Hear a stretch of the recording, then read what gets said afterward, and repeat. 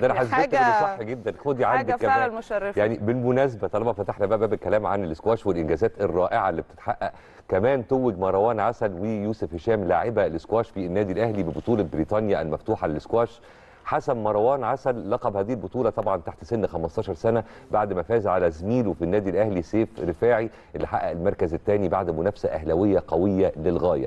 استطاع طبعا من خلالها مروان عسل إنه يحسم لقب هذه البطولة في المباراة النهائية بالأمس. كمان حصد يوسف هشام اللقب تحت سن 17 سنة عن جدارة واستحقاق بعد أداء مميز جدا أمام لاعب Black Ball إياد حسام.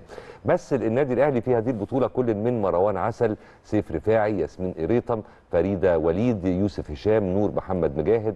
طبعا يعني أسماء كلها إن شاء الله هيبقى لها شأن كبير في السنين القادمة. اسكواش النادي الأهلي الحقيقة من زمان بيضم دايما عناصر مميزة للغاية.